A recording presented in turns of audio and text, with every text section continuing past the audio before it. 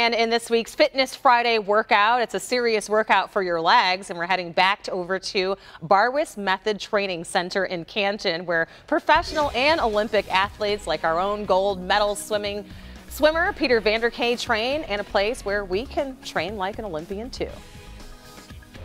You can see inside of this world-class gym all of the jerseys of the professional athletes that have benefited from the Mike Barwis method. So this time around we're learning about plyometrics with our Olympian, Peter Vanderkaay. And Mike, what does this all mean and what does it do for us? You know, the muscle's elastic in principle like a rubber band. And if we stretch the muscle, we can store energy and you convert it to kinetic energy, making us more explosive. So in a plyometric, we jump off a box, we impact the ground, it places a stretch on the muscle, and then we convert that back up in the other direction, making us more explosive. Just like coming off the blocks or off the wall when we're swimming. All right, go for it. I'll start when you're about halfway through. so is there some science nice. to how to do this? Yep. Three Olympics, he still got his hops.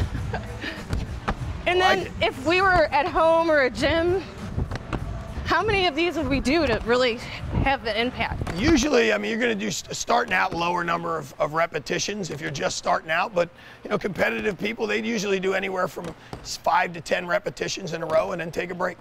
All right, sounds like we're ready for a break. Great workout though, so good for your legs. No question.